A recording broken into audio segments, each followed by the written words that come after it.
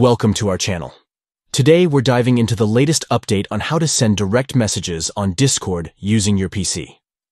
Whether you're catching up with friends, sharing memes, or collaborating on a project, direct messaging is a quick and easy way to communicate. Let's jump right in.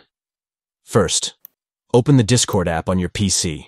If you haven't updated it yet, make sure your app is up to date to enjoy the latest features and improvements. Once you're logged in, you'll be ready to start messaging. Next, navigate to the chat or server where you want to send your message. Look to the left side of your screen to find the list of servers and direct messages. If you're looking to chat with someone from a server, click on that server name, and you'll see the members listed on the right side. Simply locate the person you want to message and click on their username to open a direct message window. It's that simple.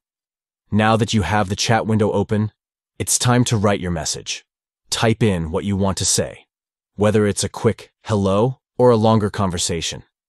If you're looking to share a photo or a document, you can attach files right from this window. Once you've crafted your message, hit the Enter key or click the Send button to deliver your message in an instant. And there you have it. You're all set to send direct messages on Discord with ease. Thanks for watching, and if you found this guide helpful, don't forget to like, share, and subscribe for more tips and tricks. Happy chatting on Discord.